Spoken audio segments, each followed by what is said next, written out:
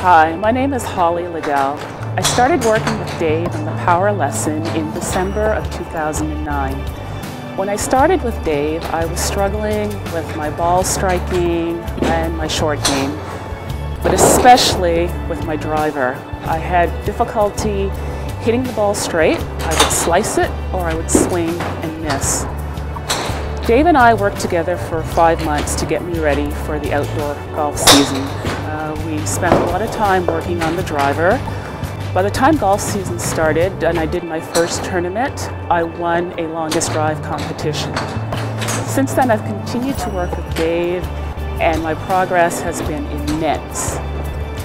In addition to winning the longest drive competition, I've also won an award for sinking the most birdies, and I've won an award for being the most improved players. After seeing the improvement that I've gotten from taking the power lessons, I've increased my goals, the things that I want to achieve. And I want to thank Dave for all his help and guidance and continued guidance in improving my entire golf game. Thank you, Dave.